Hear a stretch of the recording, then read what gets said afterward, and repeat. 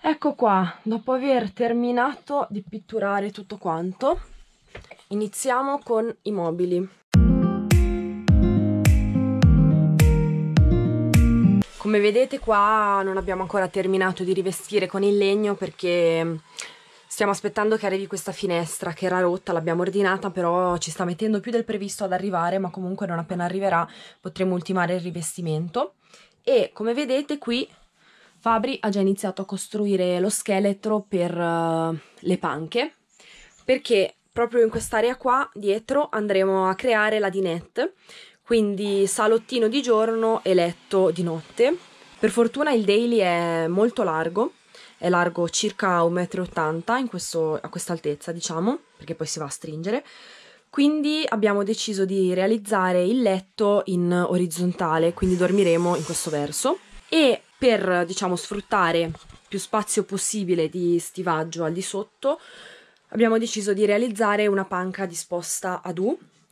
In questo modo eh, possiamo, siamo andati ad inserire due serbatoi da 105 litri ciascuno nella parte posteriore mentre ci rimane tutto questo lato nei due lati per andare a stivare coperte tutto un po' insomma e poi in questa zona qua andremo a mettere i fuochi per cucinare.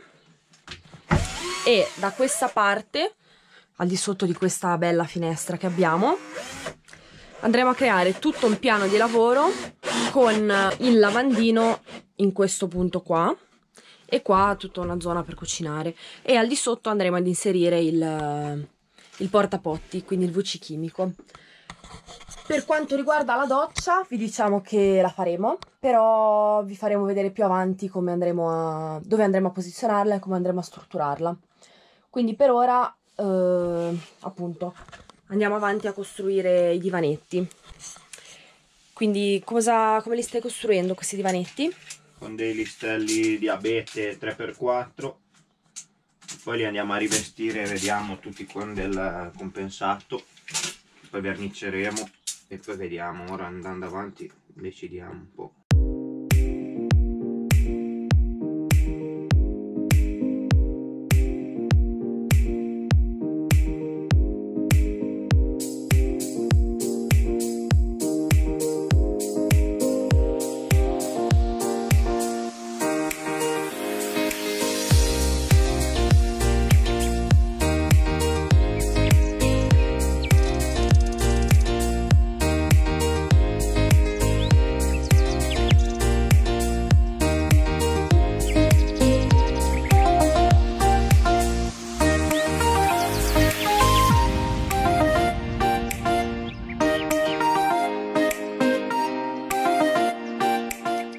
Allora, la struttura delle panche è terminata. Adesso bisogna iniziare a, a ritagliare i pannelli per chiudere il tutto.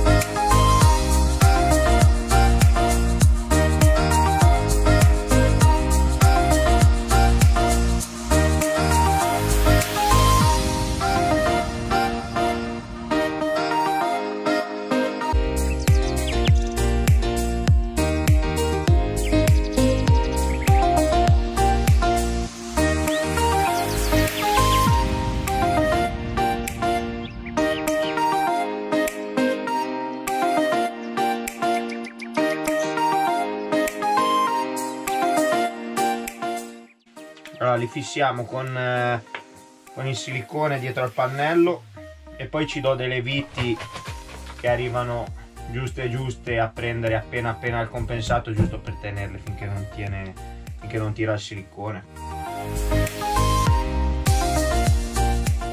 Allora come avete visto abbiamo eh, chiuso i divanetti quindi abbiamo chiuso la struttura lo scheletro che avevamo fatto con del compensato da un centimetro.